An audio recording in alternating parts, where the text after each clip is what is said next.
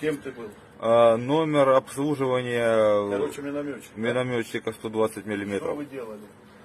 А, Мы выезжали на позицию, на позицию в поле, а, раскладывали 120 миномет И что делали? и стреляли по координатам, какие нам назначил э, СОП. По координатам в сторону чего? По координатам, которые нам назначил коман- э, Ну, СОП. направлены минометы куда были? Э, на- э, Минометы были направлены в, стро- в сторону города Мариуполя. Ну, а ты понимал, что вы стреляли по жителям Мариуполя?